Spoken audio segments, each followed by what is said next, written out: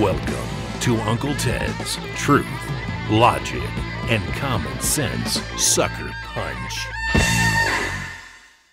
The Department of Homeland Security and even the FBI punk, what's his name? Christopher Wray, has finally admitted that they've imported tens of millions of jihadists into America through Joe Biden's open border. Jihadists, not people looking for work, not people looking for freedom from their hell zone third world holes. We're talking about jihadists from Nigeria and the Congo and Syria and the Sudan.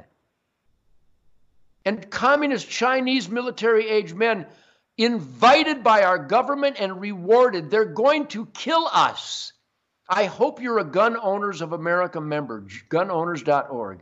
I hope you've got a gun on you. I hope you really know how to use it and you're paying attention to your surroundings because people are going to get raped and murdered and carjacked and beat and stabbed and shot today by people who rape and murder and carjack and stab and shoot people who are failed court system keeps letting them out. The same anti justice court system that is persecuting the great Donald Trump.